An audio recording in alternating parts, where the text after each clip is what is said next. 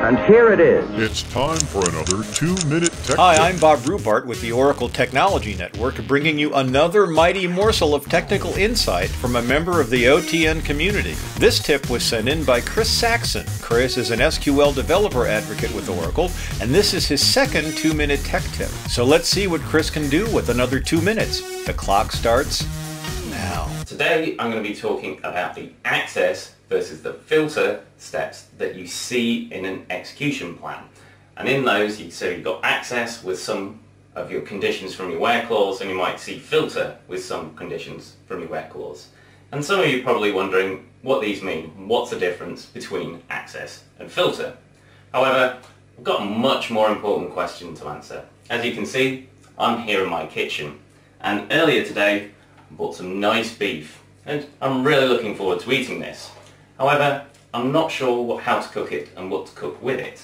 I've got a rather bizarre collection of other ingredients. I've got some chickpeas, got avocado, and a cabbage. I really don't know. I don't know how I'm going to cook, put these together into a meal. Fortunately, I've got my handy recipe book here. So what I can do is go to the index, the back of the book, look for the recipes that actually have beef in them. So we get to the beef, go to the section that has beef, and there's a number of recipes here. However, I've still got to, got to, got to go to the individual pages for these to see whether they contain any of my other ingredients. So let's bring this back. What's this got to do with Oracle? Well, they say, here I'm accessing, so I'm only getting the recipes that have beef in them.